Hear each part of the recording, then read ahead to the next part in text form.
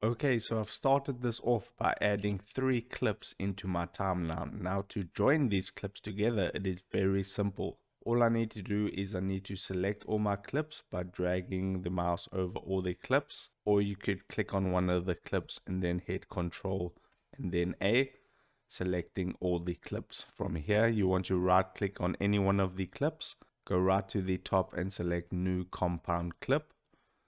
You can give it a name and then click on create. And just and joined into one clip that you can now edit much easier.